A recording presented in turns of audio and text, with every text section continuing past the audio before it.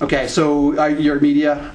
Yeah. Can you turn that off for a second? No. This edition of the Ridley Report is brought to you by FreeKeene.com.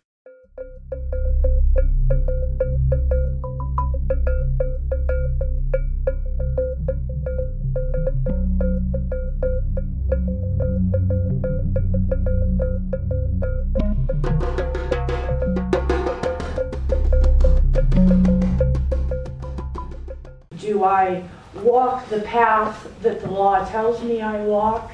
Or do I walk this path and still maintain every ounce of moral integrity and decency that I have within my body, my compassion, my kindness, my willingness to help?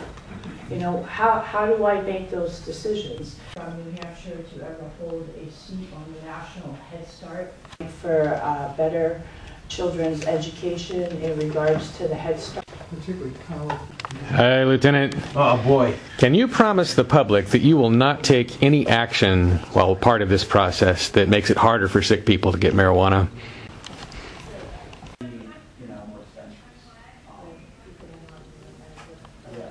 reason, but there's reasons for that too. Because that gives them an opportunity, you know. Yeah. All right. Yeah.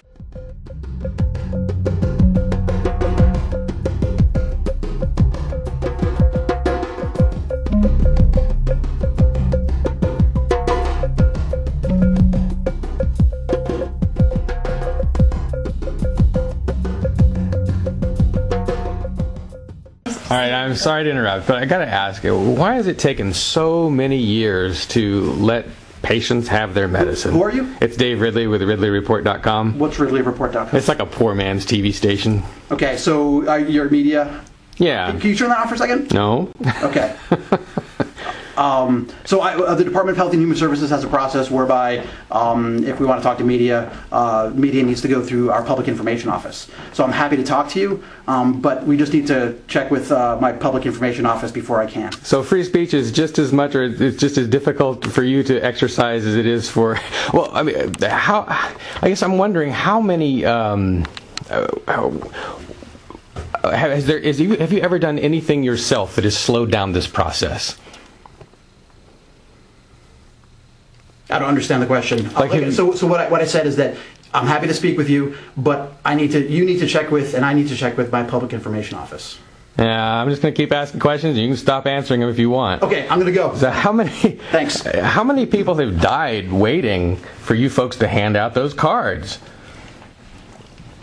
Have you done anything to make the process faster?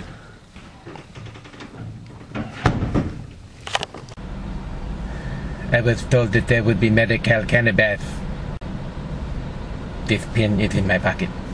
It's not in my hand. This program is brought to you by FreeKeene.com. FreeKeene.com features audio, video, and blogs chronicling the transition to a voluntary society. FreeKeene.com also has comments and discussion forums so you can be heard.